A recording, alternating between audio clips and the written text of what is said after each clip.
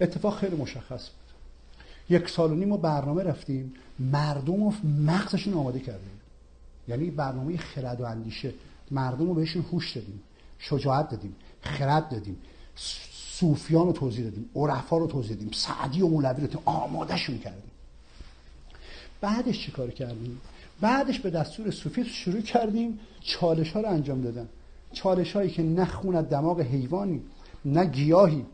و نه انسانی که اگر به این اپوزیسیون نگاه کنی هزاران برابر مهاتما گاندی مهربان فرهیخته فهیم. حتی به حیوان آزار ندادیم حتی بوز نبردیم به خودمون. گفتیم بوزا آزادن هر کار دلتون می‌خواد بکنیم. تمام چالش رو انجام دادیم. از اینجا دعوا شروع شد.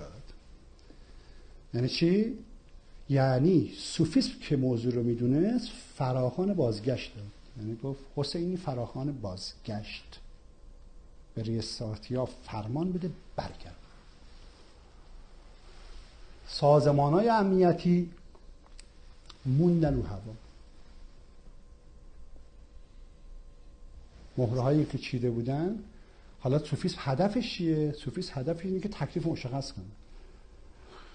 گفت حالا که عقب نشینی کردی دلیلش هم بگو. گفتیم دلیلش چیه؟ گفتن گفت دلیلش اینه. بگید که منو باید به رسمیت بشناسید. با این تاپاله ها رو که نمی‌تونیم با من به هم بریم که. اربعین نیست که بریم عراق سینه بزنیم که تاپاله را بیفتی که. بنده لیدر میلیون ها ایشون یه رسانه است. مجاهدی اپوزیسیونه. نمی‌تونن لیدر کشور باشن. اینا میگن خودشون میگن ما دموکراتیم. ما میگیم آریستوکراسیه. حکومت ما حکومت جهانیه که جهان نمی‌فهمه. ولی حکومت اینا رو که می‌فهمه اینا یه حزبن بدبختا. آقای حسینی به سیاست مدارا اعلام کن اینا یه حزبن اشکال نداره می‌تونن زیر مجموعه ریاست زیر چتر ریاست وایسن رضا پهلوی هم یه حزبه. می‌تونه باشه اشکال نداره. احزاب با هم تصمیم گیری کنن. شما در رأس لیدری تکلیف مشخص کن.